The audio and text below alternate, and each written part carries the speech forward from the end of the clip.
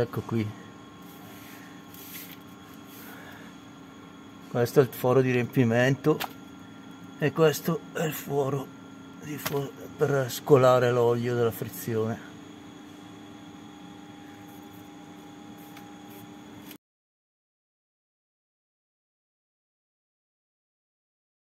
Questa è una chiavabrugola da 12 e lì ci entra perfettamente qua non ci entra perché c'è questo. Quindi mi devo inventare qualcosa. A dopo